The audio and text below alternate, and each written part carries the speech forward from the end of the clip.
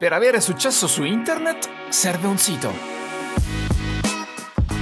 Per avere un sito serve uno spazio. Lo spazio è l'hosting. In Italia l'hosting è ruba.it.